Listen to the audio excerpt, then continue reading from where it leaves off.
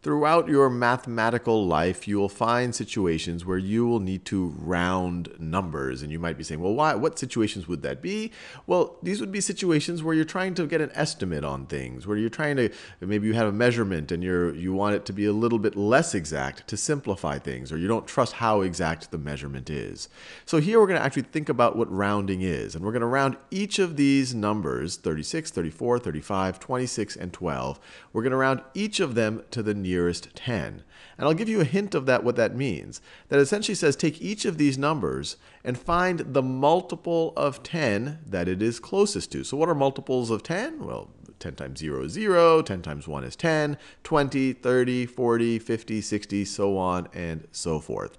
So I encourage you to pause this video and just based on what I just told you, what is the nearest multiple of 10 to each of these numbers? Try to think about that. Well, to think about it a little bit deeper, let's actually put a number line here. I'll put two number lines over here. So we've got some number lines here.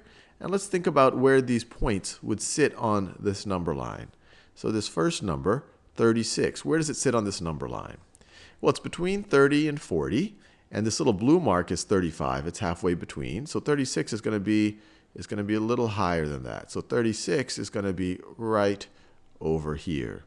And if we zoom in between 30 and 40, so if we say that this is 30 and this is 40, where is 36 going to be? So once again, this is 35. 36 is one notch above that. So 36, 36 is going to be right over here.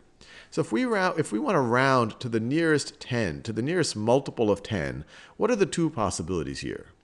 Well, I could take 36, I could take 36, and I could round up to the multiple of 10 above it, which is 40. So I could round up to 40. Or I could round down to the multiple of 10 below it, which is, which is 30. And so I need to figure out which of these numbers is it closer to. Well, when you just look at that, even just look, eyeballing it, you can see it. But you could also say like 36 is only 4 away from 40, and it's 6 away from 30. It's closer to 40, so we are going to round up. We are going to round up to 40. This is literally called rounding up. Now let's try some of these other numbers. What about 34? And I encourage you to pause the video, think about what number you would get if you were to try to round it up or round it down, and then which one it is actually closer to. Well, 34 is right over here on this number line. 34 is right over there on this number line where we zoom in. 34 is right over here. 34. And we have two options. The multiple of 10 above 34, let me do that, those same colors. The multiple of 10 above 34 is 40. Multiple of 10 below 34, again, is 30. Now, which one is it closer to? Well, it's only 4 away from 30 and 6 away from 40, so it's closer to 30. So we are going to round down to 30.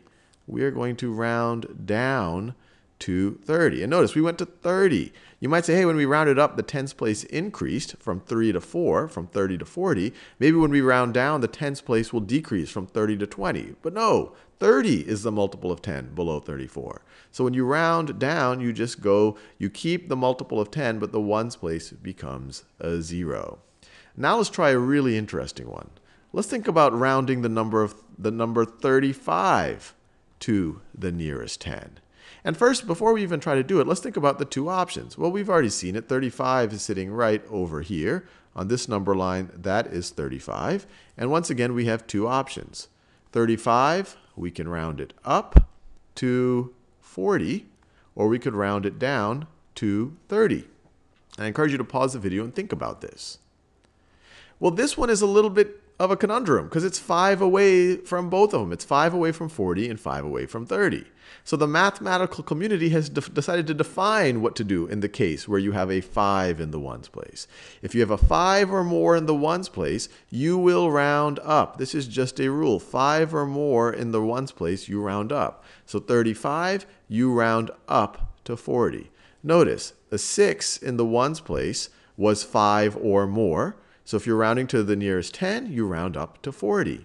A 4 in the ones place is not 5 or greater, so we rounded down. And so this gives a pretty good clue for these other two numbers. Let's try, let's see what happens with 26. 26, what are the two options? What is the multiple of 10 above 26 and what is the multiple of 10 below 26? Well, the multiple of 10 above 26 is 30 and the multiple of 10 below 26 is 20. So if we round up, we go to 30. If we round down, we go to 20.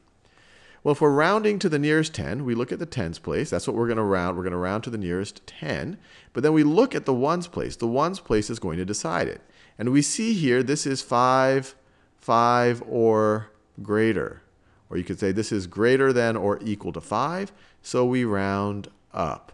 26, rounded to the nearest 10, we round up to 30. Now what about 12? What about 12? And I think you're getting the hang of this. Well, let's think about the multiple of 10 above 12.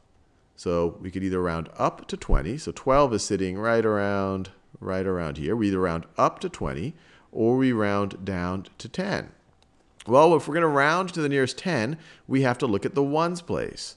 We have to look at the ones place right over here. This is less than 5. Since it's less than 5, we round down, which makes sense because it's also closer to 10 than it is to 20. So we round down, and rounding 12 to the nearest 10, you actually get 10.